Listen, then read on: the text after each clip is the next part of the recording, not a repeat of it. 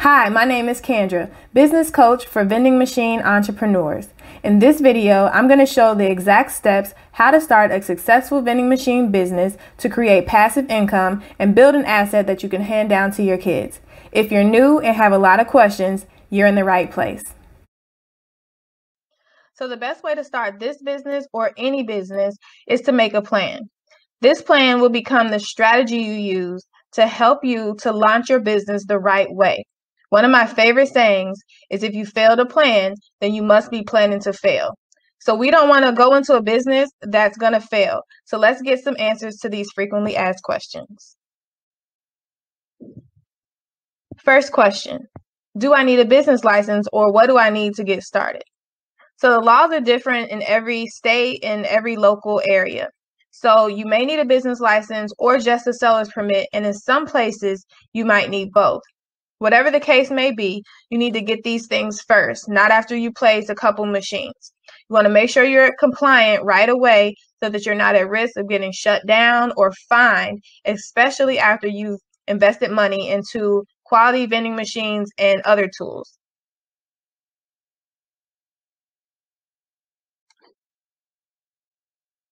Do I need an LLC?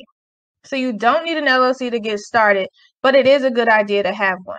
An LLC provides you with tax benefits as well as some asset protection if something should happen uh, in your business. Whatever you choose to do, it's it's a good decision to go and talk to a professional like a lawyer or an accountant that can evaluate your personal situation and let you know what's the best way to proceed.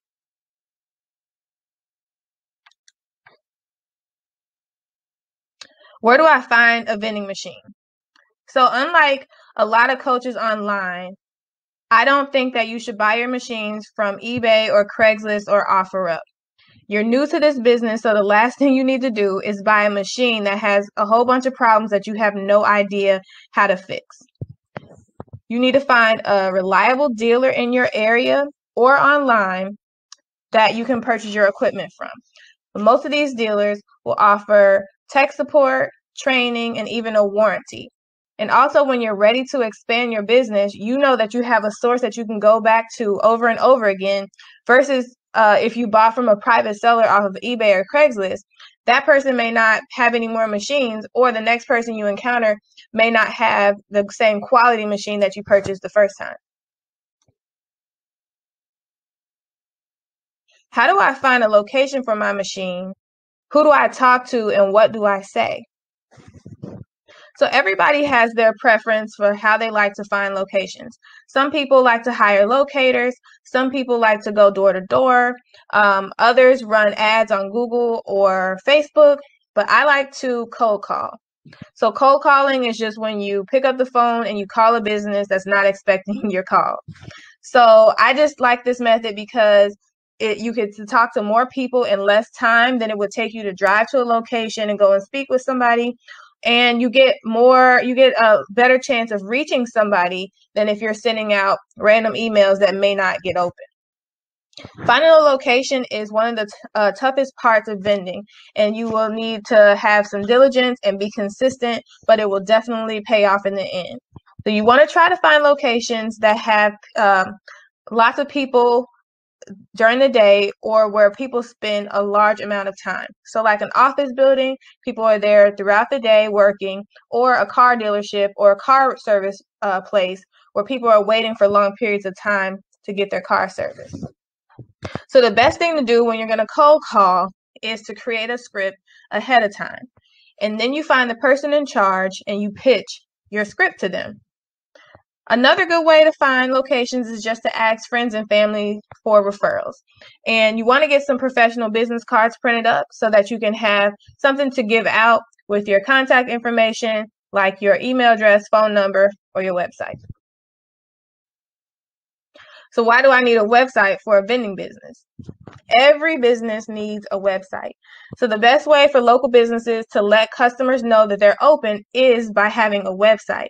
A lot of operators skip this step, and that's why they are, are not growing and they have a hard time finding new locations when they need to move their equipment or to expand their business. All you need is just a one page simple um, website that has your contact information, service area, and the services and products that you provide.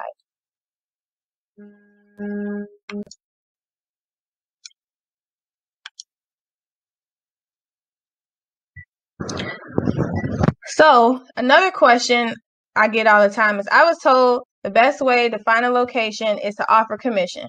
How much should I offer? So, zero. Paying commission is completely optional. There's several locations that are going to ask you for commission, like malls, hospitals, barbershops, and salons, but there's tons of other ones that won't even bother to ask you for commission, or they don't, or they'll ask you how much it costs for them to have the machine placed at their location. So the best way to land a location is just really to uh, showcase the quality products and services that you're going to provide to that location.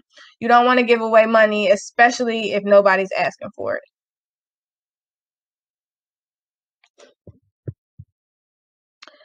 Where do I buy the products from and how much should I charge? So most people including myself, get their products from local wholesale stores like BJ's, Costco, or Sam's Club. You can search for others in your area, but those are the main ones. Uh, you get the best pricing when you go to wholesale clubs versus going to a Kroger or Publix or something like that, a, a regular grocery store. So, as far as for pricing strategies, I have a strategy that I like to use, but the best and easiest way is to go to a gas station or a grocery store in the area where you're going to place your equipment and go look at the prices. That way, you know about what to charge.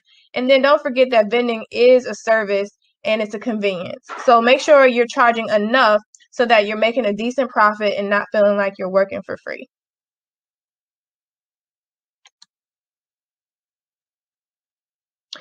Do I need card readers on all my machines or just on the ones that are making the most money? Every machine that you own should have a card reader for a few reasons. So, the first reason is that card readers increase sales by up to 30%. They offer the customer multiple ways to pay besides cash. So, people can use a credit card, a debit card, a gift card, and they can even pay with their phone. The other reason you want to have a card reader is because it's going to help you to run your business more effectively and efficiently. So you're going to be able to track your sales, you're going to be able to track the inventory in each machine, and that way you know when to go fill and you're not wasting gas running around town going to machines that don't need to be filled or losing out on sales because you didn't go soon enough and there's no product in the machine for people to buy. What other tools or equipment do I need to run this business?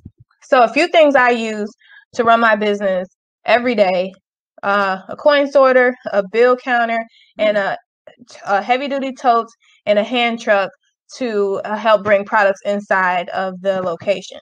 So you guys should definitely check out my vending che- uh, my vending machine toolkit and see all the other products that I use every day in my business. Now that I've answered the most frequently asked questions, here's the next step. Book a one on one call with me so that I can look over the plan that you just created and develop a program specifically for you. If you're serious about starting your vending machine business, then I'm here to help. Let's get to work.